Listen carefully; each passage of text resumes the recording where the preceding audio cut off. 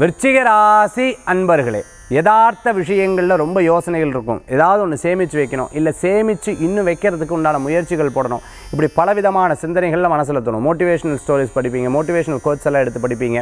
நிறையா பேருக்கு உங்களால் முடிஞ்ச நல்ல காரியங்கள் எடுத்து சொல்லுவீங்க. ஆறுதல் சொல்லக்கூடிய வார்த்தைகள் அவங்களுக்கு ஒரு பெரிய பலத்தை கொடுக்கக்கூடியதாக இருக்கும். அரசியலில் இருக்கிறவங்க இனி வரக்கூடிய காலகட்டங்களில் நான் கவுன்சிலராக போட்டி போடணும். நான் வந்து நீ பெரிய பொறுப்புகளுக்காக நான் வெயிட் பண்ணிட்டு இருக்கேன்னு எதிர்பார்த்துட்டு இருக்கக்கூடிய காரியம் நிச்சயம் உங்களுக்கு ஜெயமாகக்கூடிய வாய்ப்புகள் உண்டு. வெற்றி வாய்ப்புகள் கூடி வரக்கூடிய வாய்ப்புகள் உண்டு. மனசில் இருக்கக்கூடிய குறைகள் தீரும் தாக்கங்கள் தீரும்.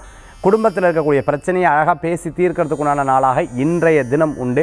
ஏதேனும் ஒரு விஷயத்தில் சேமிப்பு கூடி வரக்கூடியதாக இருக்கும். அதிர்ஷ்டம் தரக்கூடிய அற்புதமான எண் ஒன்பது. நிறம் கருநீளம் வழிபாட்டுக்குண்டான தெய்வம் நரசிங்கர் ஐயப்ப சுவாமி வழிபாடு. வெற்றி வழிபாடு விருச்சிகராசி என்பர்களே